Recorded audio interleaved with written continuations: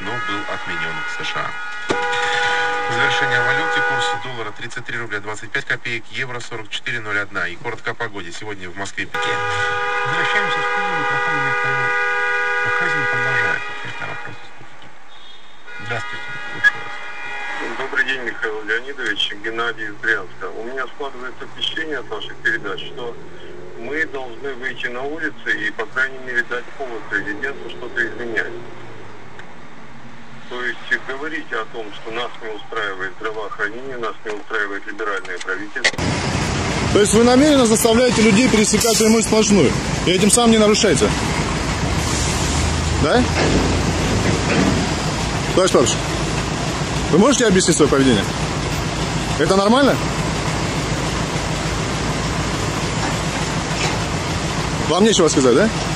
Хорошо.